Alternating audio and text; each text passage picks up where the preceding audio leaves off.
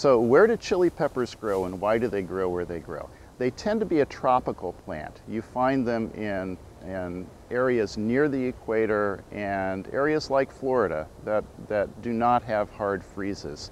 Now, of course, they're also grown commercially in a wider variety of places. Traditionally, however, you find them around the equator. And there's an interesting reason for that. Uh, humans use chilies for spices for their food. And the idea, is, the hypothesis is that before the days of refrigeration and artificial preservatives, humans discovered that the capsaicin in chili peppers stops microbes from growing. And therefore, if they put it in their food, they can protect and preserve their food. Where would you most likely have the biggest problem with microbes attacking your food? Well, where it's very hot and humid. That is tropical sorts of climates. And so to this day, what you find is that the cultures around the equator, human cultures around the equator, tend to use very spicy foods. There are lots of examples of this. In North America, for example, it's no coincidence that uh, gumbo is hot whereas New England clam chowder is not hot.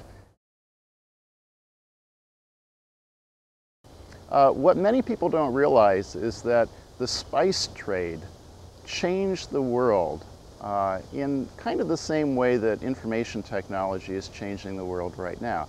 The spice trade happened over a period of a couple centuries and it literally fueled economies around the world. And the reason why Christopher Columbus, for example, quote unquote, discovered America is because he was seeking a new route to the Orient for the spice trade. He was looking for exotic spices.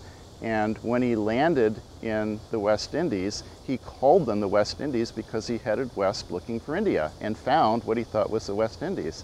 And he was looking for spices. One of the spices he was looking for was peppers. When he landed in the West Indies, he found wild chili peppers. And the, the bite of the chili peppers, the heat, reminded him of the black and white pepper uh, spices that were used in Europe at the time, and so he called them peppers. Um, the, the Native Americans, of course, called them chilies, and now they're known by, now the, the native chili pepper in North and South America is known by both names, a chili pepper.